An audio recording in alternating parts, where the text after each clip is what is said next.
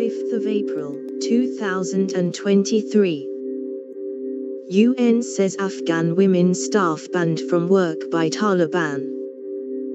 Nearly 400 Afghan women who are UN employees have now been banned from working for the intergovernmental organization by the Taliban.